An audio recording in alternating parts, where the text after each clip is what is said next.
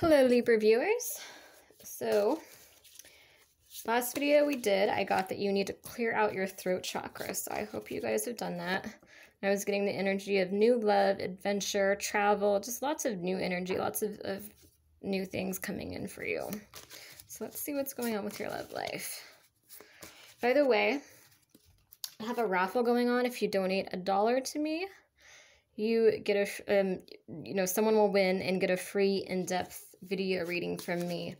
Um, the winner will be announced on the 22nd and i don't really get that many donations so you have you know the odds are in your favor. Um, my cash app and my paypal is below. And again just a dollar gets you one raffle ticket so five dollars is five raffle tickets one dollar is one raffle ticket. Just include your email when you donate. All right, what is going on in your love life? What is going on in your love life? Reconciliation is going on. Okay. Reconciliation energy. That's good. Put that right there. Willpower, strength, and confidence, isolation, loneliness, and emptiness. So, this is either you or your person that's gone through a phase of isolation, loneliness, and emptiness. And, you know, through willpower and your strength and confidence, you're, you're coming out of that energy, or your person is coming out of that energy. Toxicity, red flags, and hidden motives. Choose a path. Hidden truth. Okay. So you've got two people here. I don't know if you've met the second person or not yet, though. But um, you have two people here, and one of them is pretty toxic, actually. So we've got end of a pattern or cycle, breakthrough, freedom, beauty, mystery, enchantment, soulmate, past life connection, soul contract. So yeah, so this toxic person, um, you know, the red flags that you kind of ignored with this person, their their hidden motives. Um, this was like a soul contract, I think. This was a soulmate. You might have thought this was your twin flame or like a life partner, and it turns out um, that it just wasn't. Then maybe it was just somebody that just ended up breaking your heart. And it could be part of the, the loneliness and the isolation, emptiness. Maybe this is just like a heartbreak that you went through, and now you're coming out of it through your willpower and strength and confidence.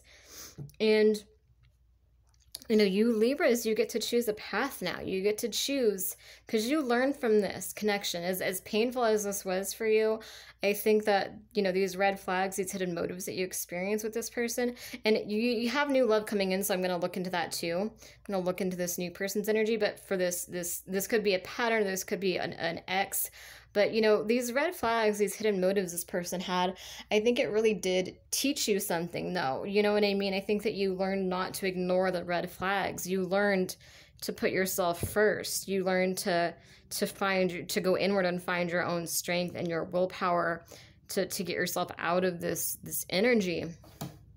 And you know, your guides are saying you have a chance to start over. So this is an end of a pattern or cycle. This is breakthrough, freedom.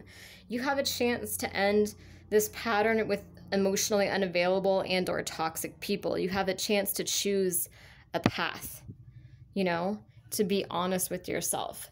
And I think that there's a hidden truth about this ex that was kind of toxic that maybe you knew like something could be could be drinking or something like that or cheating some kind of negativity that some some kind of something that this person was doing to you and intuitively you felt it like you kind of felt that this person was negative or you felt like this person was going to betray you or you just felt something off with this this ex or this this pattern that you were in in the past.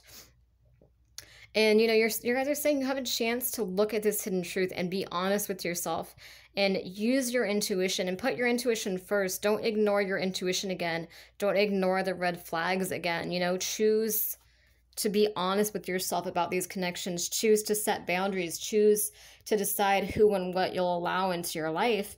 And if you do that, you know, you have this end of a pattern or cycle. You have this this breakthrough and this freedom where you cut this pattern out um, and you you end this this soul contract with this person and you manifest something better you know this person is wanting to reconcile with you, so they might try coming back around. But again, it's going to be up to you. Do you really want to go back to the past, or do you want a future that's better? Do you want somebody who notices your beauty and your mystery and your enchantment?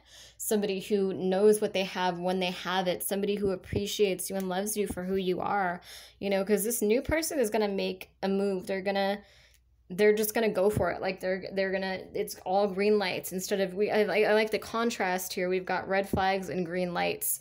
So red flags with the ex green lights with the new person. Um so again you got to choose a path. I do want to say that that this toxic person that you that you had red flags with that like either cheated on you or you felt them cheating or you felt that they were doing something shady behind the scenes um you know it's it's not going to change is what i feel for this for this group. Like they're they're that hidden truth is coming out and you're going to have to face that truth um even if you try to avoid it. It's like you're going to find out something about this person or you've already found out. You know what i mean? Like your guides are going to push you to pay attention to the red flags and push you to embrace your intuition and push you to realize, you know, what this person is really about. Even if you choose this person, they want you to at least know the truth about who you're dealing with. They don't want you to be in denial and trying to, you know, see the best in this person and, and seeing who they used to be or who they could be.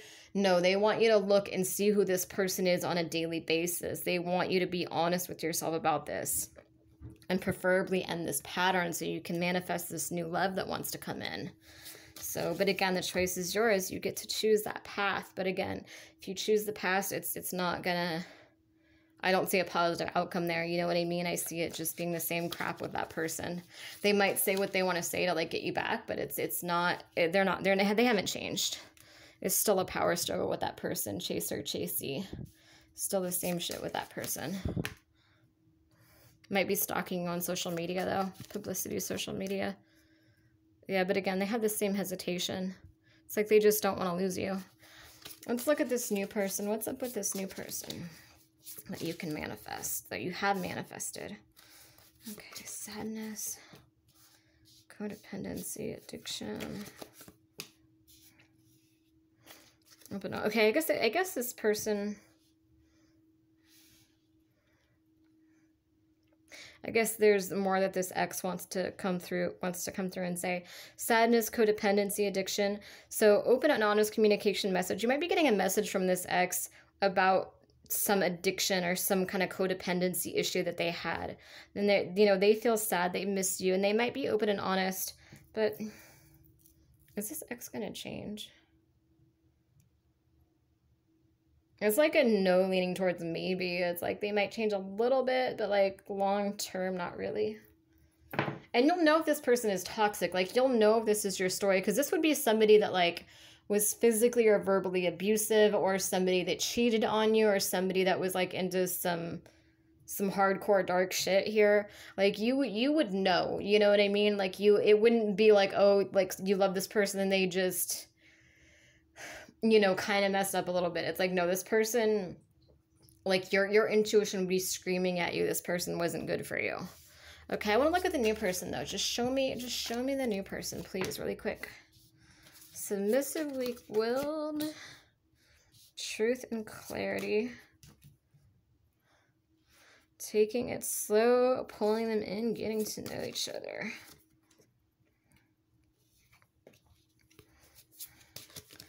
So what I get from this is like, you could meet them at a club or a party or some kind of social event, kind of unexpectedly. What I get from this though is that they're going to be submissive to, and to you. Like they're going to be submissive to their feelings for you. I think this other person took you for granted a lot. I think they kind of just like you were old reliable to them. Um, like you didn't really feel beautiful with them. You didn't feel sexy. You didn't feel wanted with them. You felt very like alone with them or just things just felt off. Like you're they might like make little comments and like your intuition would be screaming like that didn't feel right, but you would try to ignore it and you'd try to see the best in them, but like you intuitively knew this was not good for you. Um and I think this other person would be submissive to how they feel feel for you. Like they would give in to you. They would see your beauty and your enchantment. Like they would be they would make you feel beautiful. Like you wouldn't have to question how they feel. You wouldn't feel taken for granted or abused or used or whatever. You know and part of how you get into that is through truth and clarity. Um being honest with yourself finally about what you will and will not tolerate, about what you want, being willing to, um, where is it? being willing to end that pattern or that cycle and end that soul contract with the other person or multiple people and have this breakthrough and freedom and choose this new path, you know, going forward. It's new love, new adventure, new things, new experiences, you know, like really cut, really working on cutting this pattern out and not ever allowing this energy again. And, you know, again, part of that is just don't ignore the red flags no matter how much you love somebody. That's really important.